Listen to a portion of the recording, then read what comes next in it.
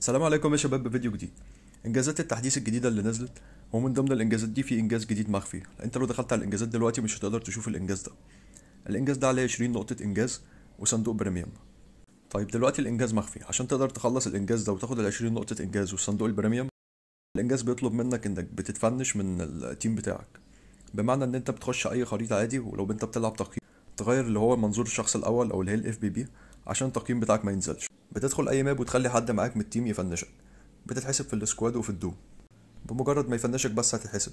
هتكرر الموضوع ده 20 مرة هتلاقي الإنجاز ده خلص معاك. ولو أكتر من واحد عايز يعملها في نفس ال game ممكن تخلي معاك قنبلة وصاحبك معاه قنبلة برضه. ترمي عليه قنبلة وهو يرمي عليك قنبلة في نفس الوقت. مجرد ما أنتوا الاتنين بتتفنشوا هتلاقي الإنجاز اتحسب معاكوا أنتوا الاتنين. بس هي الموضوع بسيط لمدة 20 مرة.